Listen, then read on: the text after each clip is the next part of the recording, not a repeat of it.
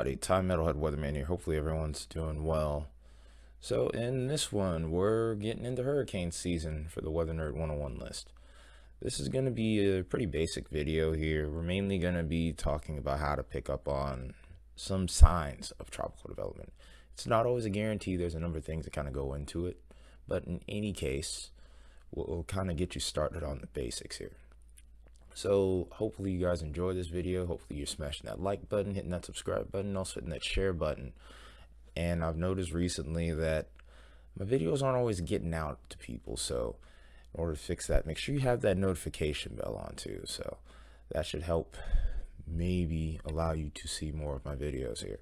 But in any case though, let's go ahead and get into it here. So I know maybe not everybody here knows how a hurricane develops, but I'm going to break it down for you in the most simple manner possible as far as like how to pick up on these. As we all know, these hurricanes form over water, and most thunderstorms form with a point of low pressure. Kind of catch my drift here. Basically, if we're looking, if we're finding a point of low pressure or an air, uh, low surface pressure area here on the, over the water, there's a chance that we'll get some convection. We'll get those storms to fire, and these storms, of course, are fed by warm, moist air. So you can kind of get you can kind of get my drift here. But in any case, if you see an area like this start to develop and then you start to see a little bit of vorticity or a little bit of spin, counterclockwise spin, you're off to a good start here. There's many models that you can use to look at this. For example, I'm just using the operational GFS here. I honestly prefer to use ensembles, but in any case, if I were to look at this and you see these little um, isobars here, if you start to see those tighten up around the storm system, that's something you need to raise a brow at, keep an extra close eye on. Right now, obviously, looking at this model run, there isn't anything to talk about in particular. But as time goes on here, that starts to get your attention a little bit more. You see, like I said, those isobars are starting to tighten up around that, forming a little bit of a ring, a point of circulation.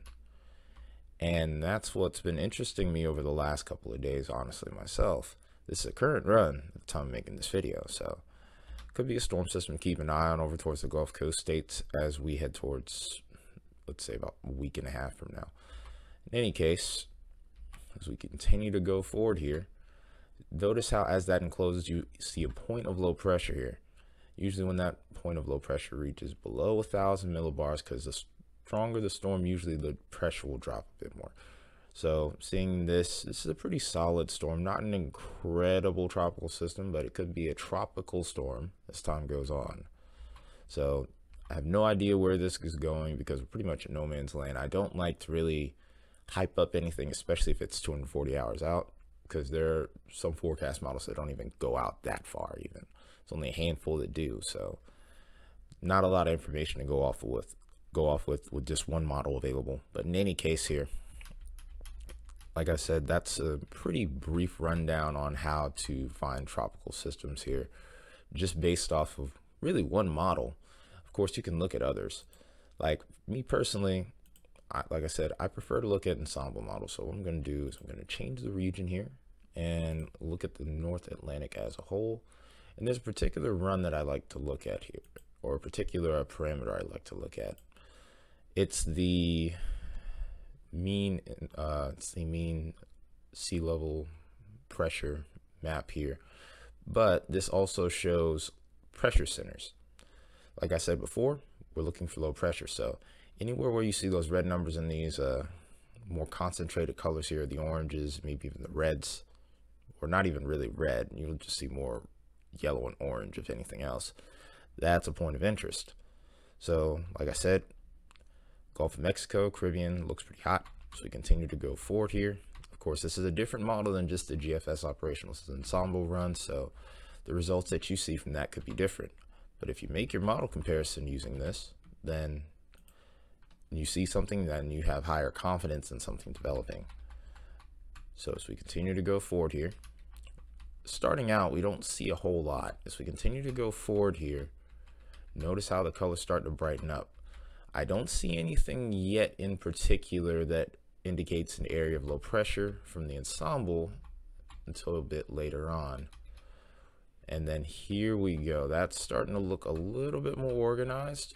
But like I said, when these isobars start to tighten up and form almost a circle, that's almost high level confidence certainty that something develops here. But right now, we're not quite seeing that at the moment.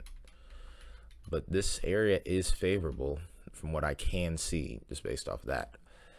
When you see an area like this with the blue numbers here, this is an area of high pressure.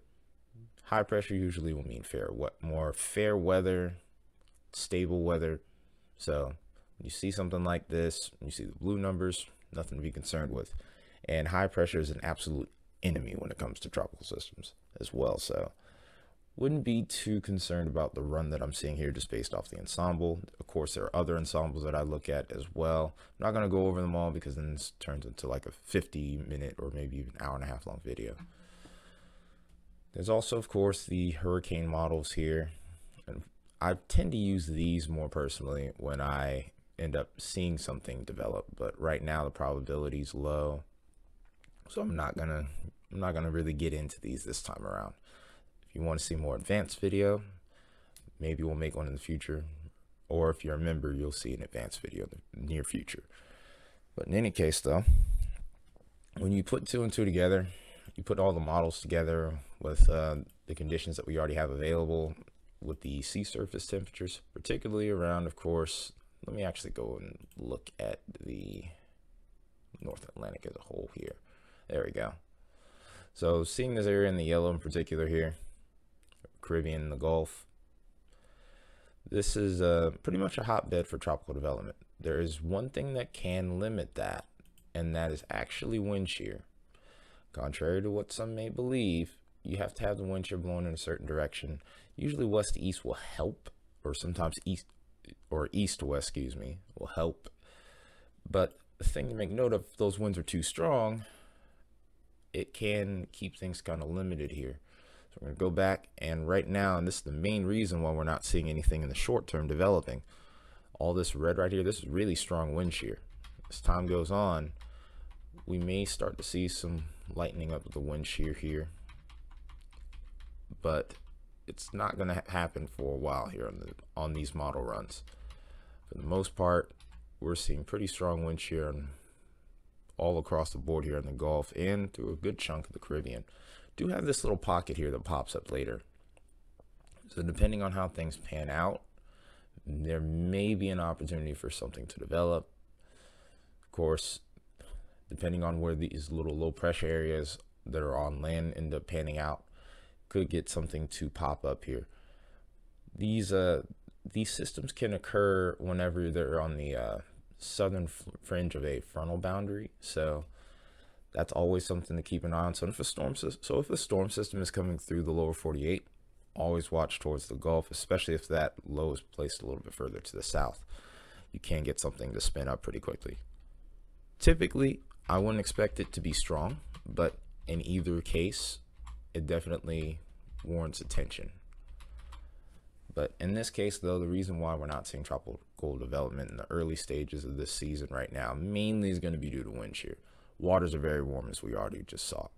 So that being said, that's the end of the video. Hope you guys enjoyed. If you did, you know what to do. Smash that like button, hit that subscribe button, obliterate that share button. Also make sure you get that notification bell on.